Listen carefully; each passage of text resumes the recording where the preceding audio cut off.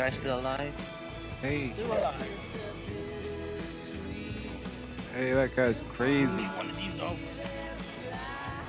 the hell's up with that guy? Hey, you, can shoot us before? Yeah, he did. Well, he's dead now. Dick.